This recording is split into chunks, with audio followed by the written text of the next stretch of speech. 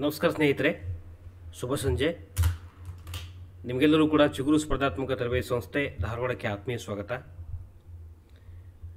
ಪ್ರತಿದಿನದಂತೆ ಈ ದಿನವೂ ಕೂಡ ಫೆಬ್ರವರಿ ಹದಿನೇಳು ಮತ್ತು ಹದಿನೆಂಟು, ಹದಿನೆಂಟನೇ ತಾರೀಕಿನ ಪ್ರಮುಖ ಪ್ರಚಲಿತ ಘಟನೆಗಳನ್ನು ಪರೀಕ್ಷಾ ದೃಷ್ಟಿಯಿಂದ ಒಂದೊಂದಾಗಿ ವಿಶ್ಲೇಷಣೆ ಮಾಡ್ತಾ ಹೋಗೋಣ. ಹಾಗಾದರೆ, ಮೊದಲನೇದಾಗಿ ಇತ್ತೀಚೆಗೆ life lesson of life lesson from India life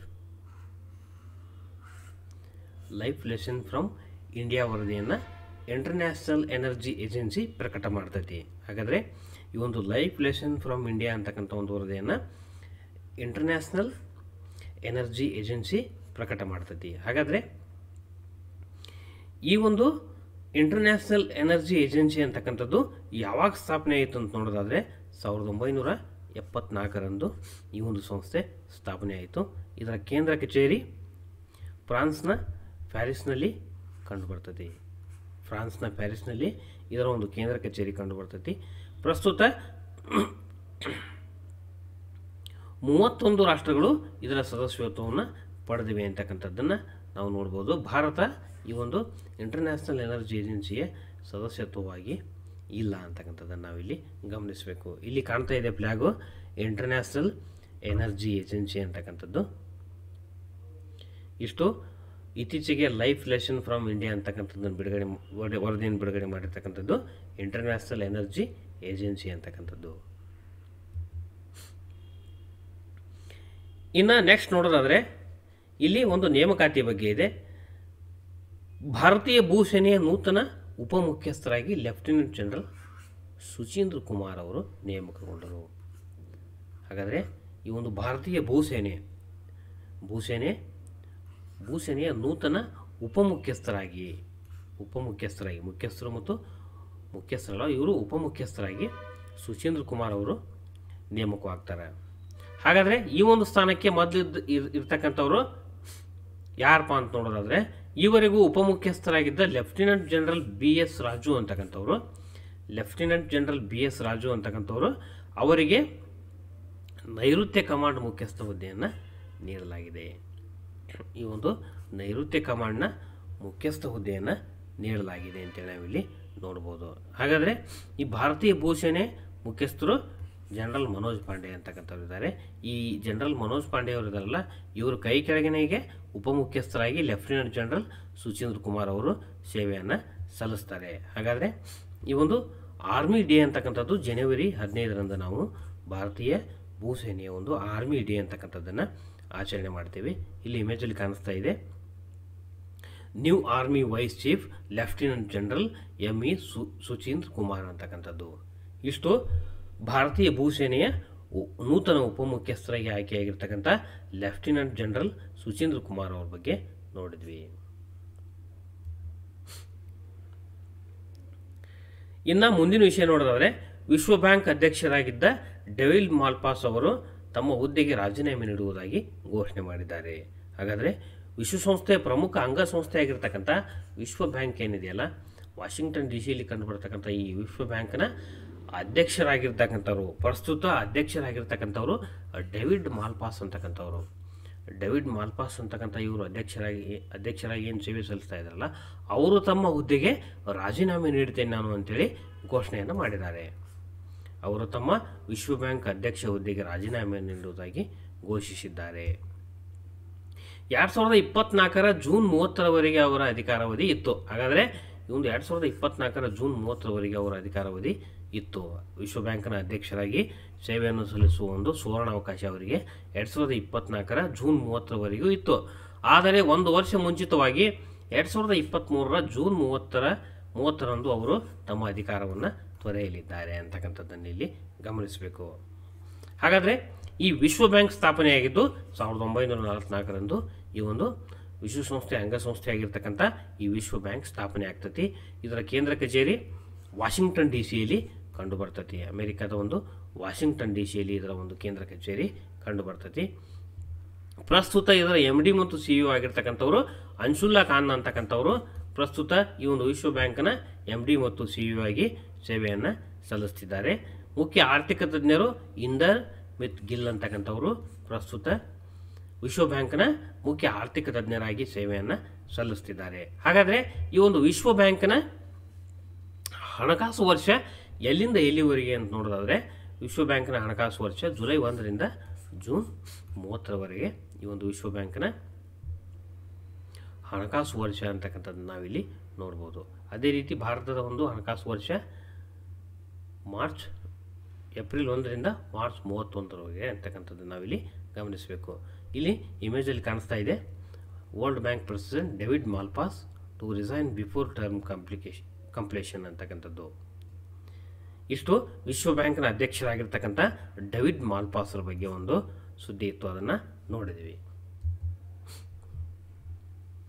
ಇನ್ನು ಮುಂದಿನ ವಿಷಯ ನೋಡೋದಾದ್ರೆ, ಇತ್ತೀಚೆಗೆ ಪ್ರಕಟಗೊಂಡ TomTom traffic index, TomTom traffic index ಅಂತಕ್ಕಂಥ ಒಂದು ವರದಿಯನ್ನು ವಿಶ್ವದಲ್ಲಿ ಅತಿ ಹೆಚ್ಚು ಸಂಚಾರ ದಟ್ಟಣೆ ಅಥವಾ ಟ್ರಾಪಿಕ್ ಹೊಂದಿದ ನಗರಗಳು ಯಾವುವು ಅಂತೇಳಿ ಇಲ್ಲಿ ಈ ಒಂದು ಟಾಮ್ ಟಾಮ್ ಜರ್ನಿ ಅಂತ ಟ್ರಾಫಿಕ್ ಇಂಡೆಕ್ಸ್ ಅಂತಕ್ಕಂಥದ್ದು ಆ ಒಂದು ವರದಿಯನ್ನು ಬಿಡುಗಡೆ ಮಾಡಿದೆ. ಇದು ಪೂರ ವಿಶ್ವಕ್ಕೆ ಸಂಬಂಧಪಟ್ಟಿದ್ದು, ಪೂರ ವಿಶ್ವಕ್ಕೆ ಸಂಬಂಧಪಟ್ಟಿದ್ದ ಅಂತಕ್ಕಂಥದ್ದನ್ನು ನಾವು ಇಲ್ಲಿ ನೋಡೋದಾದರೆ, ಅದರಲ್ಲಿ ಭಾರತದ ನಗರಗಳು ಯಾವ್ಯಾವ ಒಂದು ಸ್ಥಾನವನ್ನು ಪಡ್ಕೊಂಡಿವೆ? ಅತಿ ಹೆಚ್ಚು ಜನದಟ್ಟಣೆಯ ಒಂದು ನಗರಗಳಾಗಿವೆ ಅಂತೇಳಿ ನಾವಿಲ್ಲಿ ನೋಡೋದಾದರೆ, ಇಲ್ಲಿ ವಿಶ್ವ, ಇಡೀ ವಿಶ್ವದಲ್ಲೇ ಪ್ರಥಮ ಸ್ಥಾನದಲ್ಲಿ ಇದೆ ಅಂತ ನೋಡೋದಾದರೆ ಅದು ಮೊದಲನೇದಾಗಿ ಲಂಡನ್.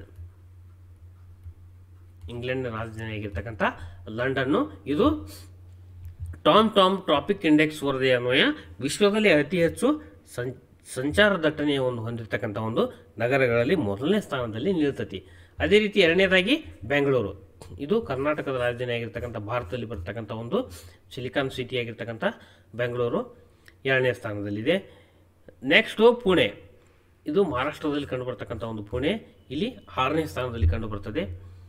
ತರ್ಟಿ ಫೋರ್ತು ದೇಶದ ರಾಜಧಾನಿ ಆಗಿರ್ತಕ್ಕಂಥ ನವದೆಹಲಿ, ಇದು ಮೂವತ್ತ್ನಾಲ್ಕನೇ ಸ್ಥಾನದಲ್ಲಿ ಕಂಡುಬರ್ತದೆ ಆಮೇಲೆ ನಮ್ಮ ದೇಶದ ವಾಣಿಜ್ಯ ನಗರಿ ಆಗಿರ್ತಕ್ಕಂಥ ಮುಂಬೈ,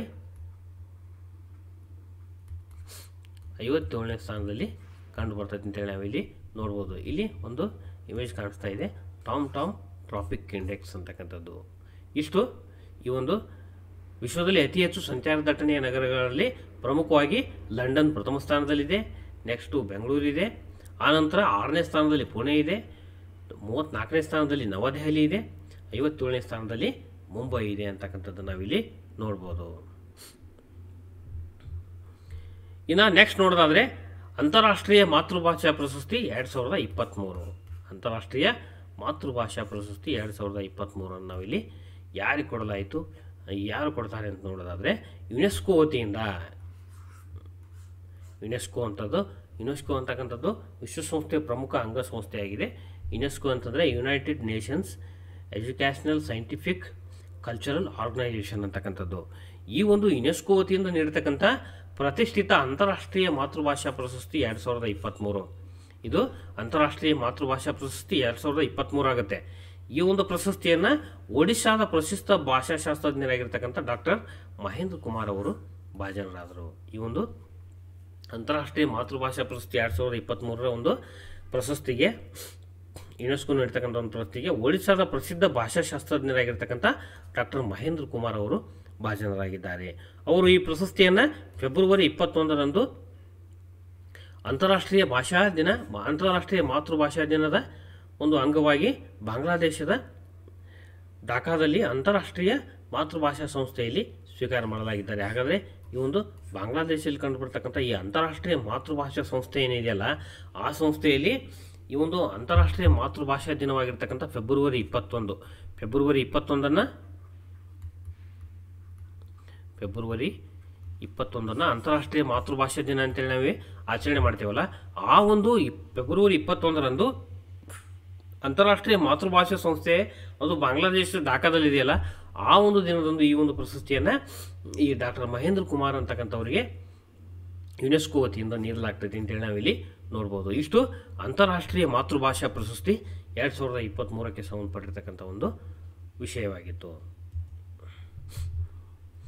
ಇನ್ನು ಮುಂದಿನ ವಿಷಯ ನೋಡೋದಾದರೆ ಕರ್ನಾಟಕ ಬಜೆಟ್ ಎರಡು ಸಾವಿರದ ಇಪ್ಪತ್ತ್ಮೂರು ಮತ್ತು ಇಪ್ಪತ್ತ್ನಾಲ್ಕು ಕರ್ನಾಟಕದ ಬಜೆಟ್ ಎರಡು ಸಾವಿರದ ಇಪ್ಪತ್ತ್ಮೂರು ಮತ್ತು ಇಪ್ಪತ್ತ್ನಾಲ್ಕು ಹಾಗಾದರೆ ಇದನ್ನು ಮಂಡಿಸಿರ್ತಕ್ಕಂಥವರು ರಾಜ್ಯದ ಕರ್ನಾಟಕ ರಾಜ್ಯದ ಮುಖ್ಯಮಂತ್ರಿ ಆಗಿರ್ತಕ್ಕಂಥ ಬಸವರಾಜ ಬೊಮ್ಮಾಯಿ ಅವರು, ವಿತ್ತ ಸಚಿವರು ಅವರೇ ಆಗಿರ್ತಕ್ಕಂಥ ಹಣಕಾಸು ಮಂತ್ರಿ ಮತ್ತು ಕರ್ನಾಟಕದ ಮುಖ್ಯಮಂತ್ರಿಗಳಾಗಿರ್ತಕ್ಕಂಥ ಬಸವರಾಜ ಬೊಮ್ಮಾಯಿ ಅವರು ಈ ಒಂದು ಬಜೆಟನ್ನು ಮಂಡನೆ ಮಾಡ್ತಾರೆ. ಹಾಗಾದರೆ ಇದು ಬಸವರಾಜ ಬೊಮ್ಮಾಯಿ ಅವರು ಮಂಡಿಸಿರ್ತಕ್ಕಂಥ ಎರಡನೇ ಬಜೆಟ್ ಆಗಿದೆ ಅಂತೇಳಿ ನಾವಿಲ್ಲಿ ನೋಡ್ಬೋದು.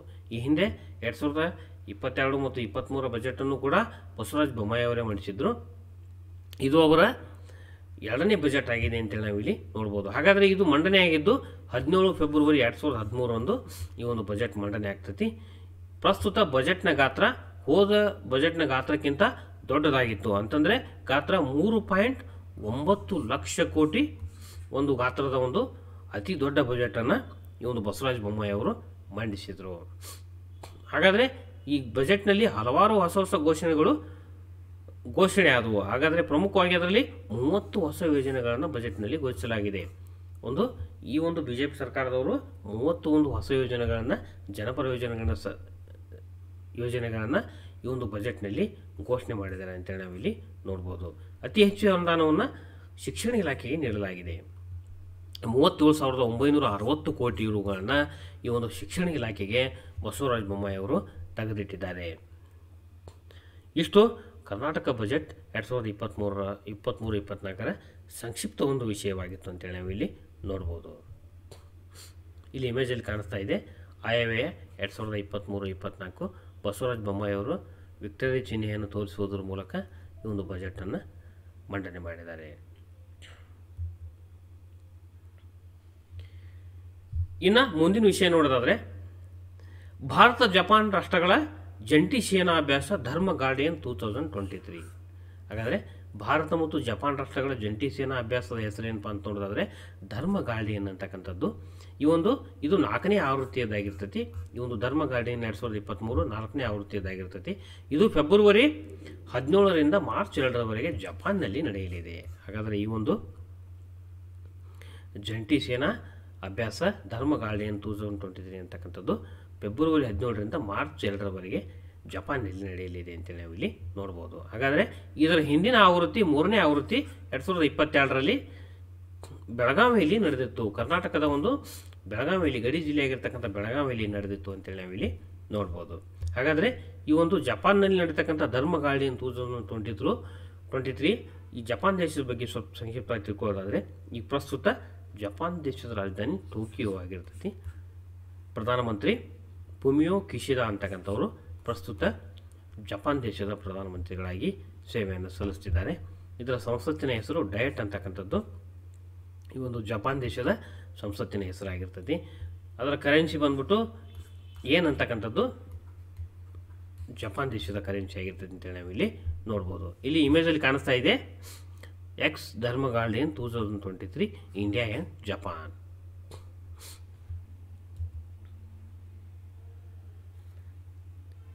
ಇನ್ನು ಮುಂದಿನ ವಿಷಯ ನೋಡೋದಾದರೆ Khelo India Winter Games two thousand twenty three Khelo India Winter Games two thousand twenty three ಬಗ್ಗೆ ಮಾಹಿತಿ ಇದೆ. ಇದು ಮೂರನೇ ಆವೃತ್ತಿಯದಾಗಿತ್ತು. ಈ ಒಂದು Khelo India Winter Games two thousand twenty three ಮೂರನೇ ಆವೃತ್ತಿಯದಾಗಿತ್ತು. ಇದು ನಡೆದಿರ್ತಕ್ಕಂಥ ಸ್ಥಳ ಯಾವುದಪ್ಪ ಅಂತ ನೋಡಿದ್ರೆ ಗುಲ್ಮಾರ್ಗ್, ಜಮ್ಮು ಕಾಶ್ಮೀರದ ಗುಲ್ಮಾರ್ಗ್ ಅಂತಕ್ಕಂಥ ಒಂದು ಸ್ಥಳದಲ್ಲಿ ಈ ಒಂದು Khelo India Winter Games two thousand twenty three ನಡೆದಿತ್ತು. ಇದು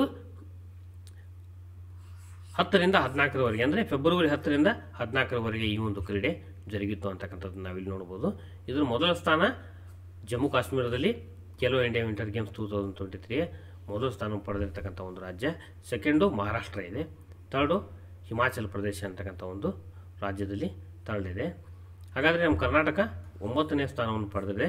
ಅದು ಐದು ಚಿನ್ನ, ಎರಡು ಬೆಳ್ಳಿ ಮತ್ತು ಏಳು ಕಂಚು ಸೇರಿ ಒಟ್ಟು ಹದಿನಾಲ್ಕು ಪದಕಗಳನ್ನು ಇದು ಪಡೆದಿದೆ ಅಂತೇಳಿ ನಾವಿಲ್ಲಿ ನೋಡ್ಬೋದು ಇಲ್ಲಿ ಇಮೇಜಲ್ಲಿ ಕಾಣಿಸ್ತಾ ಇದೆ Khelo India Winter Games Gulmarg Jammu and Kashmir two thousand twenty three ಅಂತಕ್ಕಂಥದ್ದು. ಇಷ್ಟು ಖೇಲೋ ಇಂಡಿಯಾ ವಿಂಟರ್ ಗೇಮ್ಸ್ ಬಗ್ಗೆ ನಾವಿಲ್ಲಿ ತಿಳ್ಕೊಂಡ್ವಿ. ಇನ್ನು ಇಲ್ಲೊಂದು ವಿಷಯ ಇದೆ, ಭಾರತದ ಮೊದಲ waste to hydrogen waste to hydrogen ಘಟಕವನ್ನು ಕೇಂದ್ರ ಸರ್ಕಾರವು ಪುಣೆಯಲ್ಲಿ ಸ್ಥಾಪಿಸಲಿದೆ. ಹಾಗಾದರೆ ಈ ಒಂದು ವೇಸ್ಟ್ ಟು ಹೈಡ್ರೋಜನ್ ಅಂತಕ್ಕಂಥ ಒಂದು ಘಟಕವನ್ನು ಕೇಂದ್ರ ಸರ್ಕಾರ ಪುಣೆಯಲ್ಲಿ ಸ್ಥಾಪನೆ ಮಾಡ್ತತಿ. ಪ್ರತಿದಿನ ಮುನ್ನೂರ ಐವತ್ತು ಟನ್ ತ್ಯಾಜ್ಯವನ್ನು ಸಂಸ್ಕರಿಸಿ ಮುನ್ನೂರ ಐವತ್ತು ಟನ್ ತ್ಯಾಜ್ಯವನ್ನು ಈ ಒಂದು ವೇಸ್ಟ್ ಟು ಹೈಡ್ರೋಜನ್ ಅಂತಕ್ಕಂಥ ಒಂದು ಘಟಕದಲ್ಲಿ ಸಂಸ್ಕರಣೆ ಮಾಡಿ ಹತ್ತು ಟನ್ ಹೈಡ್ರೋಜನನ್ನು ಉತ್ಪಾದನೆ ಮಾಡ್ತದೆ ಅಂತೇಳಿ ನಾವಿಲ್ಲಿ ನೋಡ್ಬೋದು.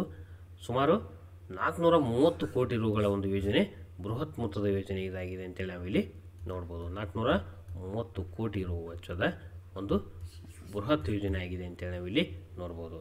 ಇಷ್ಟು ಫೆಬ್ರವರಿ ಹದಿನೇಳು ಮತ್ತು ಹದಿನೆಂಟರ ಪ್ರಮುಖ ಪ್ರಚಲಿತ ಘಟನೆಗಳಾಗಿದ್ದು, ಮತ್ತೆ ಮುಂದಿನ ದಿನದ ಪ್ರಚಲಿತ ಘಟನೆಗಳೊಂದಿಗೆ ನಿಮ್ಮ ಮುಂದೆ ಬರ್ತೀನಿ. ಅಲ್ಲಿವರೆಗೂ ಥ್ಯಾಂಕ್ ಯು ನಮಸ್ಕಾರ.